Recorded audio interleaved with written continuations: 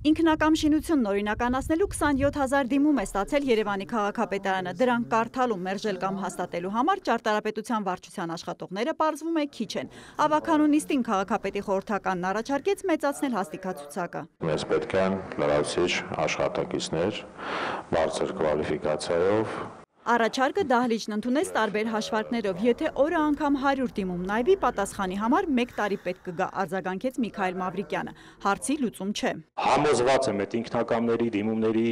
70%-ը մերժվելու է, այդ մերժված 70%-ից 90%-ը դիմելու է դատարաններ։ Այսինքն հաստիկացուցակ նաև պետք է ավելացնենք իրավաբանական վարչությունում։ Բարգավաճ Հայաստանի ավականու անդամ նահազանգեց նաև, որ Երևանում այնքան նոր շենք ու բնակարան է կառուցվում, կոյուղու գործող համակարգը չի հասցնում սպասարկել եւ վթարները շատացել են։ Ինքնակամների մեծ մասը տաղավար, ավտոլվացման կետ եւ այդ տիպի կառույցներ են, ավելին մեծ մասը խափեությամբ է փորձում հարց լուծել, հայտարարեց Իմ քայլի ներկայացուցիչը։ Գուցե դիմումի հետ ինքնակամի մի նկարներ պահանջենք ասաց։ Մարդիկ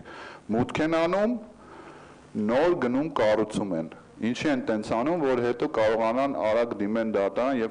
կասեցնեն, որpիսի մենք չկարողանանք դրանք քանդել։ Ինքնակամը մեղմ ձևակերպում է ավելի ճիշտ Նապորինի ասելն է։ Արդեն կառուցված շինությանը թույլտվություն տալու քննարկմանը միացավ Հայկ Մարությանը։ Իրավիճակը բնորոշեց որպես քաոսային, պնդեց, որ իրավիճակն ինքն անձամբ փորձել է կարգավորել քաղաքապետ ընտրվելուց երկու ամիս անց, նախագիծ ներկայացնելով կառավարություն։ Որոշման մեջ փոփոխել պետական եւ համայնքային հողերի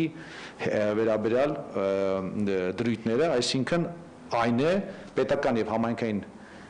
հողերի վրա այլևս X օրվանից սկսված ընդհանրապես չի օրինականացվելու ոչ մի կառույց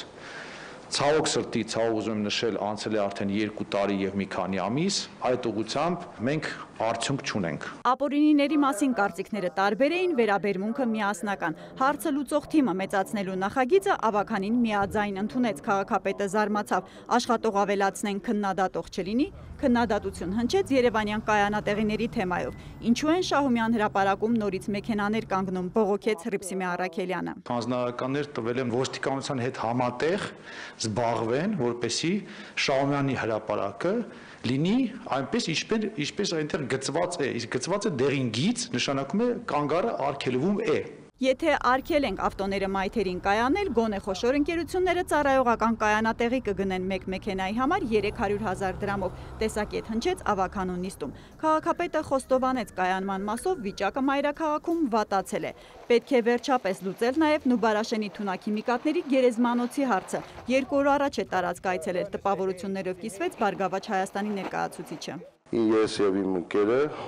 ամբողջ մեր մարմինը քորեր բռնել